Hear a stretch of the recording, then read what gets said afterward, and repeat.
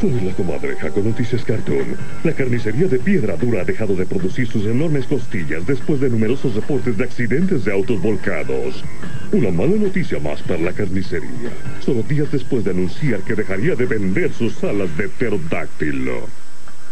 La comedia musical ¿Dónde está mi dedo? protagonizada por Jaimico estrenó anoche. El show recibió críticas contradictorias del público. En una declaración hecha pública por su madre, Johnny Bravo anunció que estaría en huelga de hambre hasta recibir disculpas por lo menos de una de las mujeres que lo han golpeado en su show.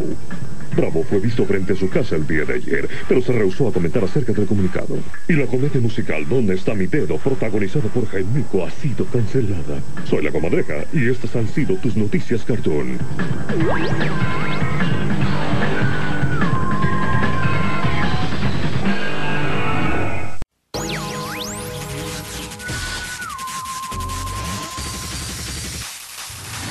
Soy la comadreja con Noticias Cartoon.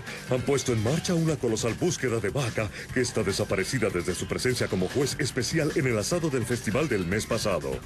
Mientras tanto, Johnny Bravo continúa su huelga de hambre hasta recibir disculpas por lo menos de una de las mujeres que lo han golpeado.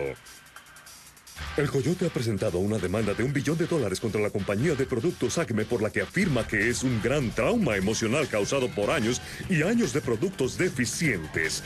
Esto solo días después de un horrible percance que el señor Coyote tuvo con el cepillo desintegrador de placa dental Acme con acción láser. Noticias de última hora.